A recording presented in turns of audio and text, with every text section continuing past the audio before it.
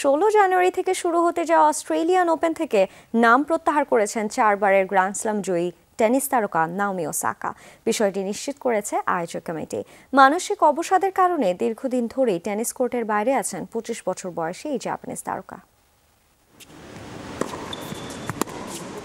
মেলবোর্নে দু হাজার উনিশ এবং দু হাজার একুশ। এই দুটি সাল খুব বেশি স্মরণীয় টেনিস তারকা নাওমি সাকার জিতেছিলেন অস্ট্রেলিয়ান ওপেনের শিরোপা। নারী টেনিস তারকাদের মধ্যে দুবারের চ্যাম্পিয়ন এই জাপানিজ নারী।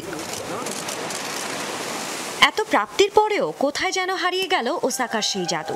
দু হাজার একুশ সালের পর থেকে আর কোনো খেতাব জিততে পারেননি তিনি। বিভিন্ন টুর্নামেন্ট থেকে নিজের নাম প্রত্যাহার করেছেন পঁচিশ বছর বয়সী এই তারকা। কারণ হিসেবে জানিয়েছিলেন, মানসিক অবসাদে ভুগছেন তিনি।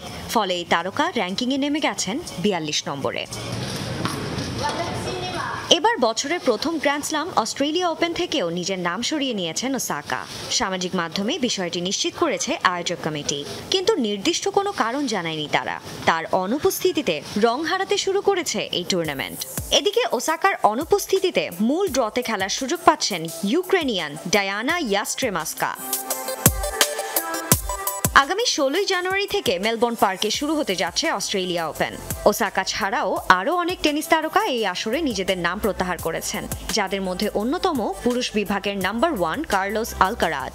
ইঞ্জুরির কারণে টুর্নামেন্টে খেলছেন না তিনি। অভিজ্ঞ মার্কিন তারকা ভেনাস উইলিয়ামস ইঞ্জুরিতে পড়ে অস্ট্রেলিয়া ওপেনে না খেলার সিদ্ধান্ত নিয়েছেন।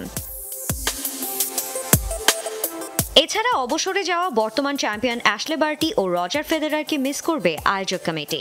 সাবেক নাম্বার ওয়ান ও দুই বারের গ্র্যান্ডস্লাম জয়ী সিমোনা হালেপ নিষিদ্ধ মেডিসিন নেওয়ায় হয়েছেন বহিষ্কৃত। তবে কোভিড ভ্যাকসিন না নেয়ার জটিলতা কাটিয়ে এবছর অংশ নিচ্ছেন নোভাক জকোভিচ। থাকছেন রাফায়েল নাদালো সানজানা আইভি, যমুনা স্পোর্টস।